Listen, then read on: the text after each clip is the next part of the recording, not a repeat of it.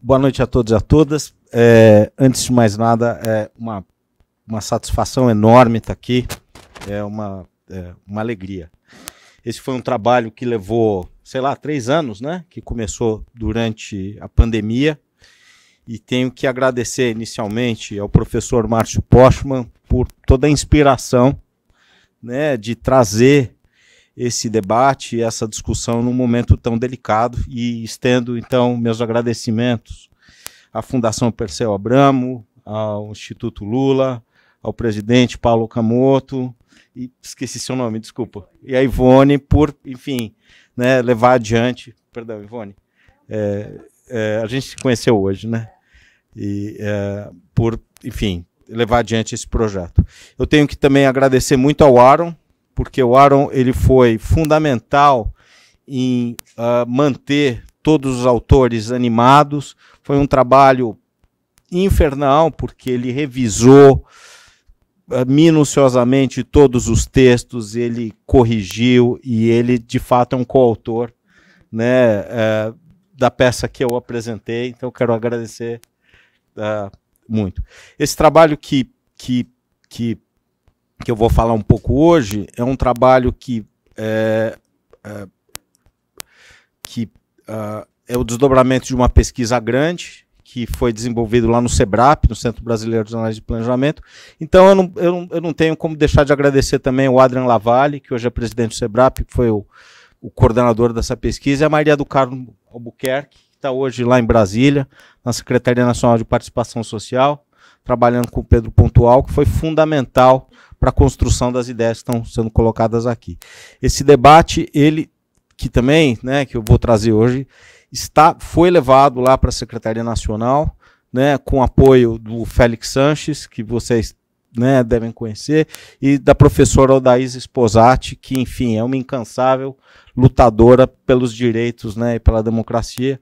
Então, tenho que agradecer também o Renato Simões né, e o pessoal da secretaria por permitir a gente desdobrar esse trabalho. Né?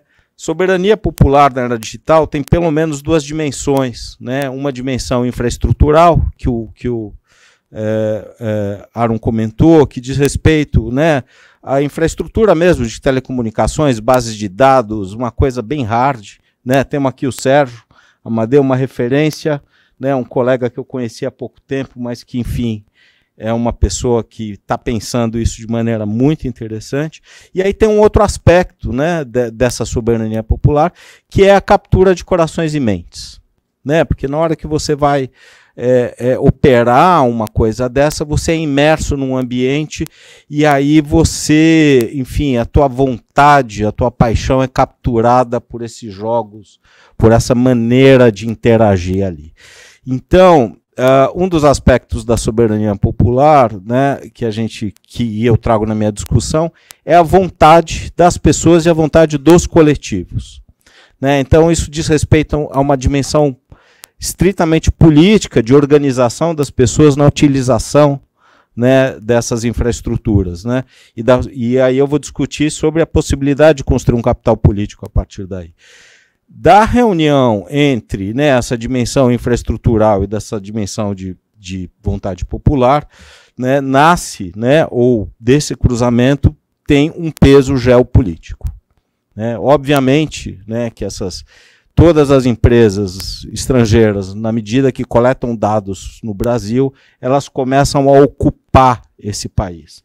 Por meio da economia, começam a aprofundar seu modo de expropriação, começa, enfim, é, é, é, realizar né, o seu projeto, que é um projeto antigo de expropriação do território das pessoas.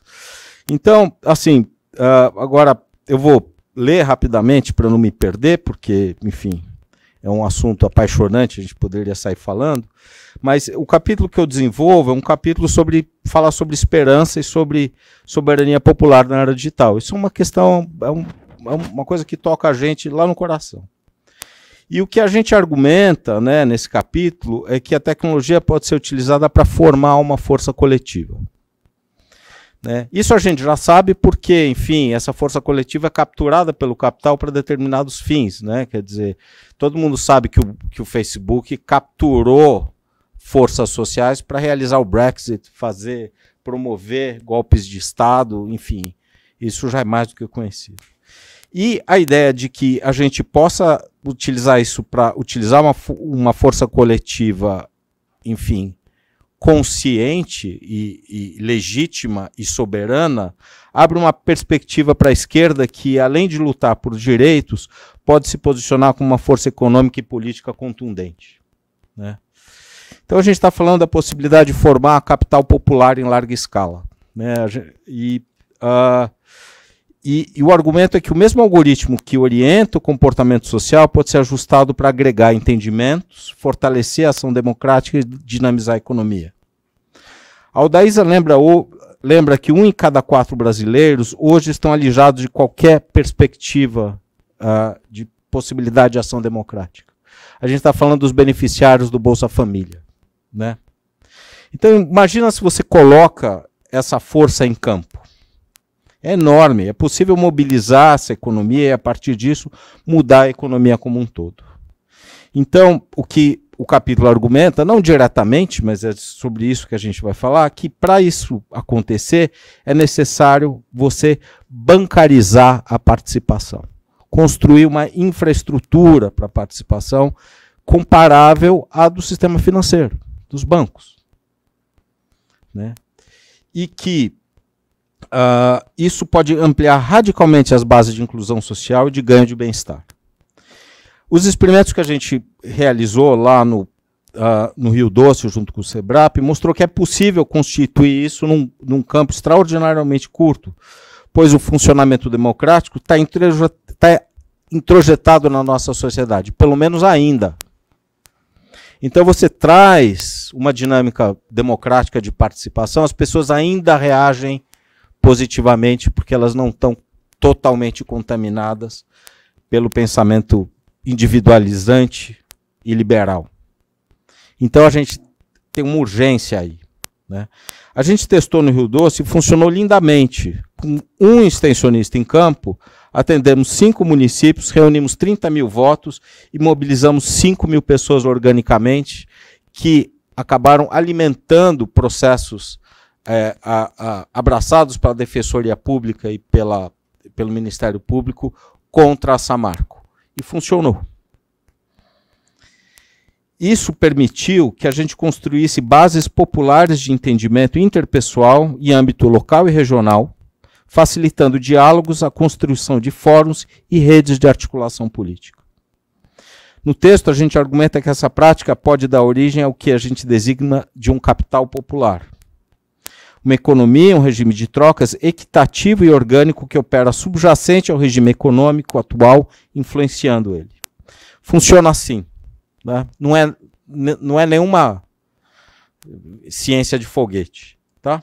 Suponha que você recebe cinco reais mensais e que você pudesse destinar esse, esses cinco reais por meio de um cartão tipo Bolsa Família no que quisesse ver uh, o investimento na sua região, no seu bairro, etc. Ou seja, você recebe isso como crédito, não pode sacar, mas você pode depositar isso em uma rúbrica. E que as outras pessoas fizessem a mesma coisa, criando os fundos setoriais de base territorial. Então, que você pudesse participar de dinâmicas coletivas para estabelecer o destino desse recurso acumulado coletivamente. Se fosse todo o Brasil, R$ reais, a gente teria 900 milhões mês e 10 bi e 800 ano. É muito? É, mas não é tanto. O Nunes desviou 4 bi só esse ano. Tá? Então, a, a pergunta que se faz é: as bolsas de valores já não realizam isso? Quer dizer, não constroem né, argumentação, né, regimenta capital, difuso, coletivo e destina? Fazem. Pois bem, é isso mesmo que a gente está propondo. A gente desenhou um arcabouço equitativo para universalizar o direito de investimento e a imaginação de uma possibilidade de futuro é, por parte do campo popular. Isso altera o campo de investimento destinado exclusivamente à manutenção de privilégios. Tá? É sobre isso que esse capítulo fala, é sobre essa perspectiva. E argumenta que a ação de massas é compatível com participação social. Então, os experimentos realizados demonstram que o processo deliberativo é capaz de organizar o processo comunicacional. E normalmente o que acontece é o oposto, né? que o processo comunicacional ordena e determina os resultados do processo deliberativo. E a gente prova que o contrário é possível. Isso é uma notícia alvissareira. A gente entende que é, é, é preciso pôr isso em prática e, e conferir peso devido à participação social nas políticas públicas e na economia. Não há futuro sem inclusão e é preciso ampliar radicalmente as bases de diálogo econômico e incluir literalmente a todos. Experimentos realizados mostram que isso não é só possível, mas é replicável e mensurável. Basta a gente fazer que dá certo. Obrigado.